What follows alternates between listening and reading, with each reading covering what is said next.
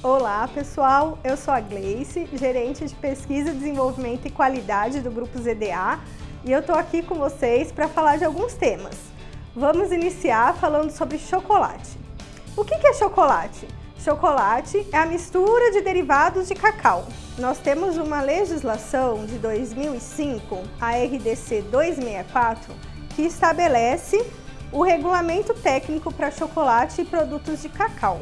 Para ser considerado um chocolate ao leite ou um chocolate meio amargo ou amargo, ele precisa ter no mínimo 25% de sólidos totais de cacau. E quando a gente fala de chocolate branco, precisa ter no mínimo 20% de sólidos de cacau para ser considerado um chocolate branco. E o que é cobertura?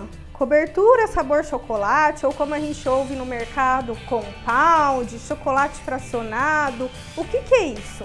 é o produto que não se enquadra na legislação, ou seja, que não possui o percentual mínimo de sólidos de cacau estabelecido para ser denominado como chocolate. Isso ocorre quando é feita a substituição da manteiga de cacau por uma outra gordura, uma gordura vegetal. E aí pode ser hidrogenada, interesterificada ou fracionada.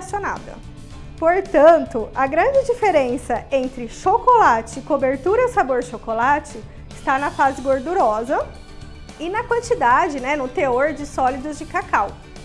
Quando a gente fala de cobertura sabor chocolate, a gente substitui a manteiga de cacau, que é um sólido derivado do cacau, por uma gordura vegetal.